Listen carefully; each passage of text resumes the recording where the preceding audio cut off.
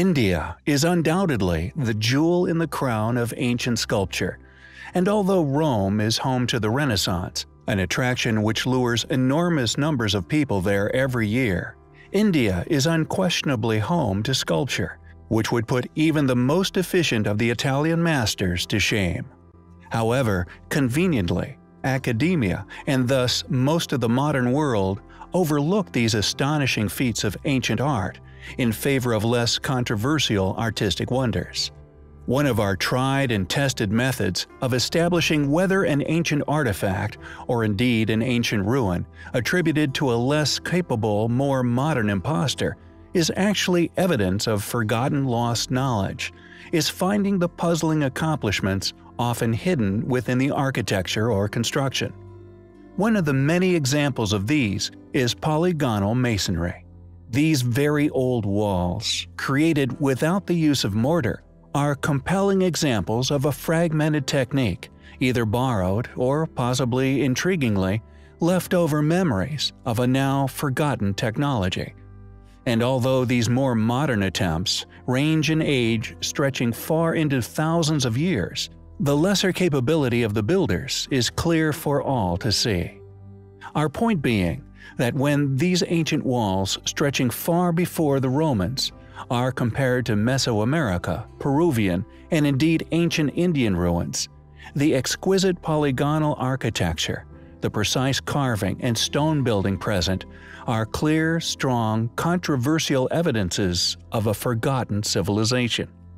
How did these ancient builders acquire such a sophisticated knowledge and awareness of stone shapes, and the subsequent placement of each stone, perfectly placed against one another, forming impenetrable barriers which have stood the tests of the ages?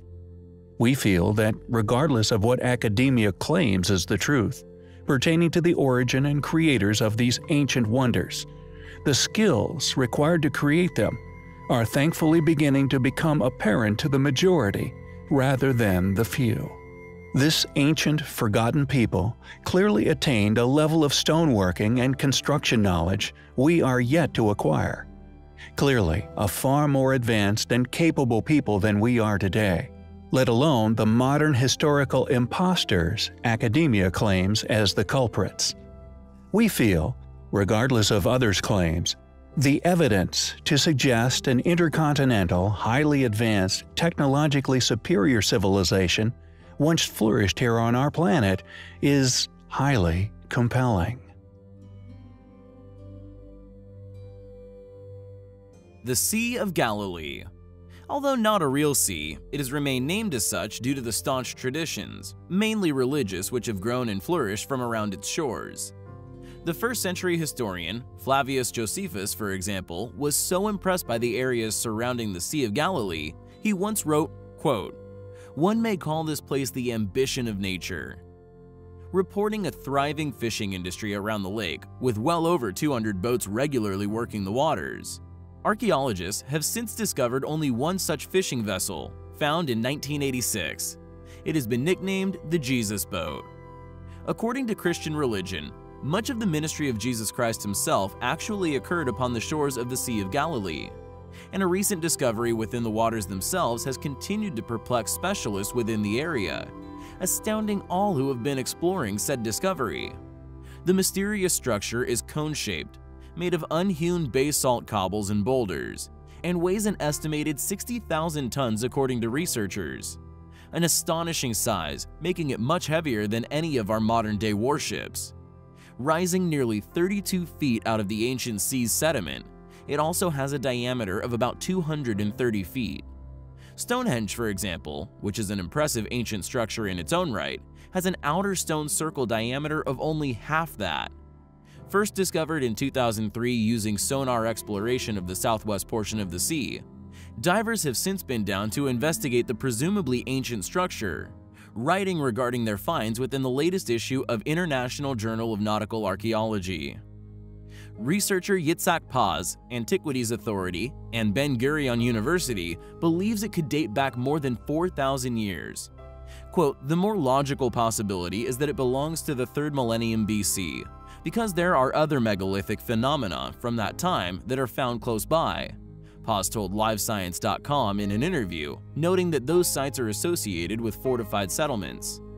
Could it be that this is where the peoples of Bet Yerah buried and honored their dead? Is this a proverbial city of the dead, or something else entirely? As more research is undertaken, it is only a matter of time before we understand this amazing structure for what it truly once was. We will of course keep you posted. A few months ago, we did a video regarding an enigmatic mountain, which rests within modern-day Tibet. We touched upon the amazing legends, speaking of the mountain actually being that of an ancient man-made pyramid, which according to such legends is placed at the center of the universe. They spoke of a mysterious giant eye placed upon the top of the mountain, an eye which according to said legends will reveal itself when the ice and snow within the area melts away. Akin to a story containing the Eye of Mordor, yet hopefully not as malevolent.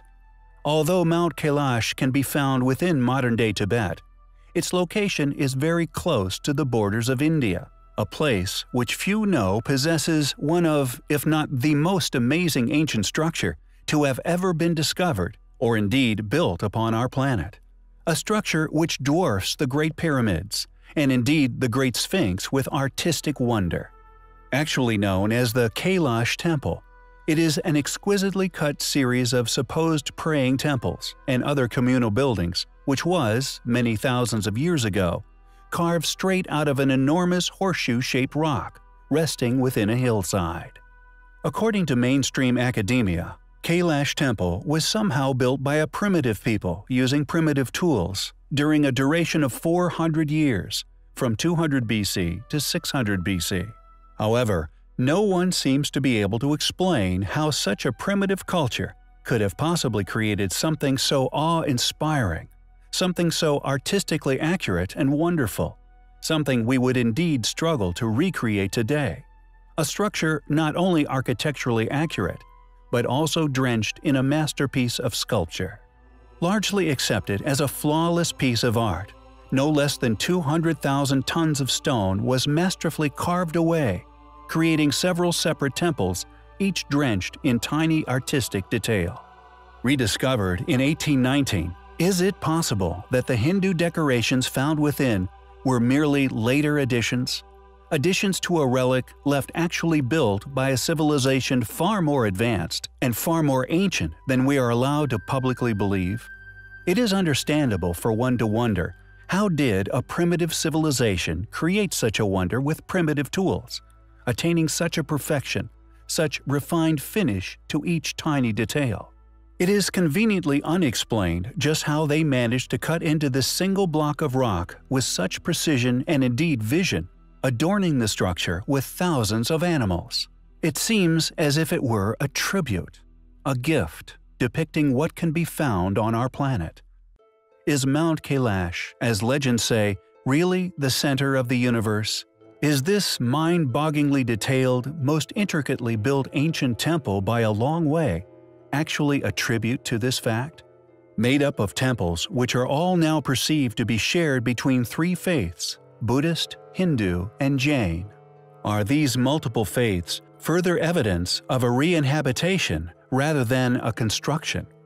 The 200,000 tons of rock, for example, is nowhere to be found. And, as previously covered in the Kailash video, the same is seen with the apparent enormous excavation found around the base of Mount Kailash itself. Compelling evidence for manipulation of the landscape giving credence to the legends of it being, in fact, an enormous pyramid. Regardless of this, the fact that the temple carries the same name as this mysterious and still unclimbed mountain within Tibet, we find highly compelling.